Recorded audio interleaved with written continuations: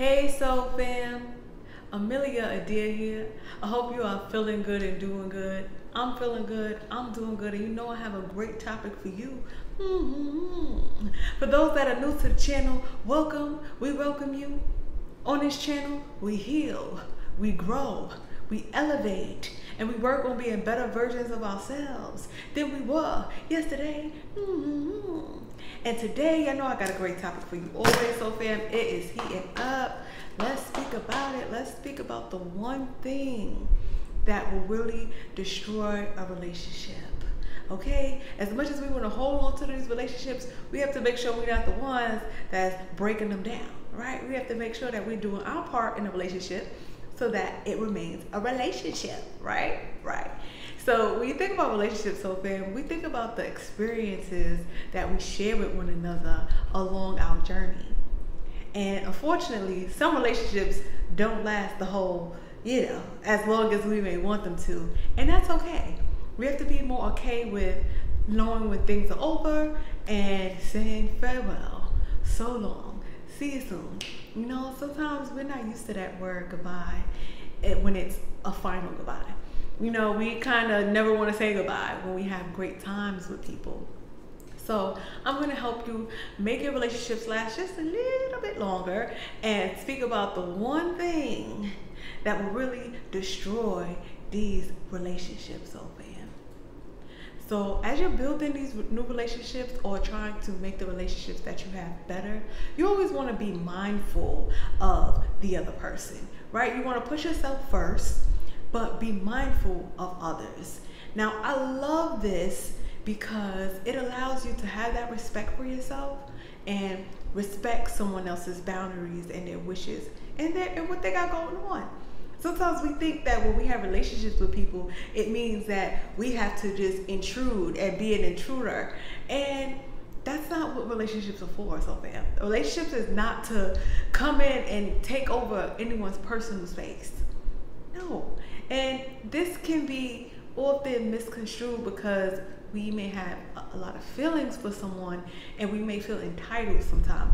So we have to make sure that when we're building these relationships, we're not feeling entitled and we're not crossing boundaries. And we're not crossing boundaries that someone has set. And relationships last longer when both parties are respecting each other's boundaries. If they don't like such and such, respect that soul fam. Sometimes as we're looking in these relationships, we're like looking for a duplicate of ourselves. And so we start searching for flaws and things like that. And that will keep you with no friends, no lovers, no anything. And that's not that fun long term. It's good to have your alone period, but it's even better to have someone that can use their own mind and give you their perspective and be with you and enjoy the journey together, right? So the one thing that will definitely hinder your relationship, destroy relationships, stop relationships from growing is being super clingy. So fam, clingy for love, clingy, clingy, clingy, clingy, clingy, clingy, meaning always want to be around or always want to be in on the scene in their face. You know just always just being there. You know like a like a fly on the wall. You don't want to be that that person that doesn't know how to be alone at all you know sometimes we really be running from ourselves and wanting to be around other people to distract us from things that we may be feeling you know those experiences are only ever going to be temporary soul fam if there's things that you may be feeling when you're alone, talk to somebody. Get you a coach. Get you a therapist. Get you a class. Don't use relationships and friends as your outlet. When you use relationship and friends as your outlet and family as your outlet, then that's what you're going to receive from them. You're never going to really receive the, the joy of a real relationship if you continue to just want their attention, want their love, or rather need their attention and need their love in order for you to feel whole. A lot of it stems from soul fam not having that love that the world says we need. You know, sometimes we, we have the absence of a parent. Sometimes we emotionally have the absence of a parent. You know, like sometimes the parent is there, but they never gave us the love and attention that we may require or we may need. Still and also, fam, you have you cannot expect your relationship to fill those voids within you. Right? So there's ways that you can heal those wounds so that when you do make these new relationships, you're not becoming so clawed on where you scare them away. Sometimes when you have so much love and you're expecting so much from someone who may not even be used to it, you can easily scare them off and make them feel like, hey, this is too much. It's like trying to take on a role that you're not equipped to do. You don't have the qualifications to do. And so oftentimes we see that our relationships don't last if we're the ones that's being clingy and needed, needy all the time. You know, like every time you're with someone, you need them to make you feel happy. Every time you're with someone, you need them to give you some love. Every time you're with someone, you need them to give you some positive energy. When you're the one that always needs, you become the one that always drains people. And when people are feeling drained around you, whether they are conscious of it or not conscious of it, they're slowly, eventually, they'll start to just turn their back or stop answering their phones and leave you hanging, which can definitely be hurtful when it's happening over, over, over. It's like getting beat and you're already down. The problem is sometimes people don't even realize you're the one that's down. When we're walking around and we're smiling, we're cheesing, and inside we're not feeling like we're looking, then people don't know. So, fam, sometimes we assume that people know this and know that, and one thing you don't want to do is assume. That's number one. And number two, don't think everyone can read your mind. People aren't always that focused on other people's emotions.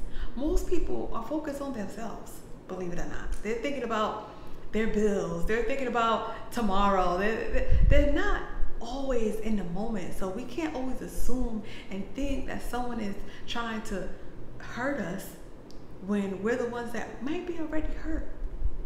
So if you are someone that's already hurt and struggling with building these relationships and they always end horribly, it can be a lot of what you are attracting because of what you have inside. So that's why it's always important to stay on top of coaching, stay, stay on top of therapy, stay on top of good books, good reads. If you're always bored, you're not reading enough books. There's enough books in this world to read a, a one book every day. Okay, now that's a that's a lot of books. So you want to get the library is always empty. That's why I'm always there. Excuse me. No one's ever in the library. So fam, if you're bored, go to the library. You need to start putting more positive things around you so that you can start to replenish what's inside of you. Sometimes we think we're good because we heard a good song and we had a good cry, and we have to just make sure we're not doing temporary fixes to our not so temporary pain, right?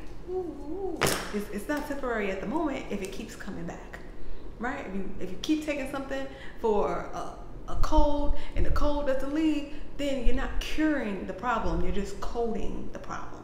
If that makes sense, so man.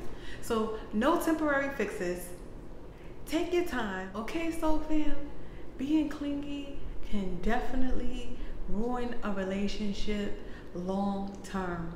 To avoid being so clingy, just give people their space and make sure that if there's anything that you want to speak on or heal within, that you talk to the right people. We can't use our friends and our family and the people that we want close to us as our therapists long term. Okay, it's great to have some conversation and great get some perspectives from time to time. But if there's some things that's really bothering us, we got to get to the root of those issues and heal them up so that moving forward, we're not continuously poking that same wound, poking that same wound.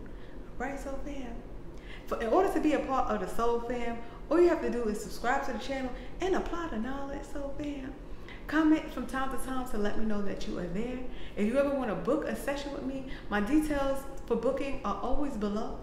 Or if you want your good read, 77 Pieces of Poetry is available on Amazon and it will help you heal some of those wounds and bring you some peace for sure. All right, Amelia Adair here. Thank you guys for always tuning in. Press the bell so you see when I post again.